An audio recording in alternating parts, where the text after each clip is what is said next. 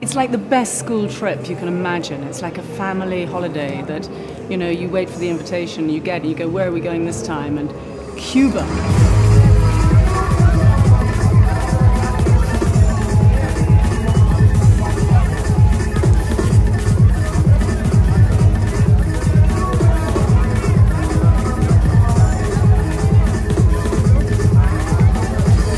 I love the flowy skirts and the t-shirts because I like to mix t-shirts and flowy skirts, things like that, because it kind of feels boyish but kind of cool, you know. So I love that.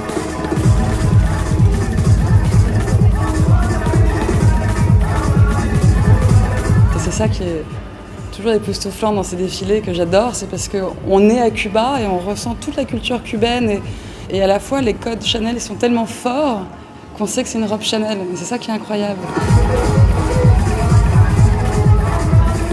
Fue todo, estaban las mangas muy grandes de los rumberos, estaban las chancletas, que es lo típico cubano de las mujeres que chancleteamos todo el día, las licras que todas llevan por la calle, eh, la boina militar que el Che Guevara llevaba, que es un- una cosa clásica de Cuba, que en vez de la estrella estaba el símbolo de Chanel, me pareció maravilloso. C'était très féminin, mais en même temps, il y avait toujours l'accessoire, les premiers costumes, les robes avec les vestes, les chapeaux. Enfin, j'ai- adoré ça. Et après, toutes ces couleurs.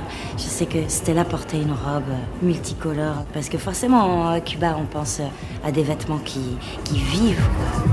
I felt it was a real homage to Cuba and Havana in particular, and it started with the music. And so by embedding it in that, we were all transported.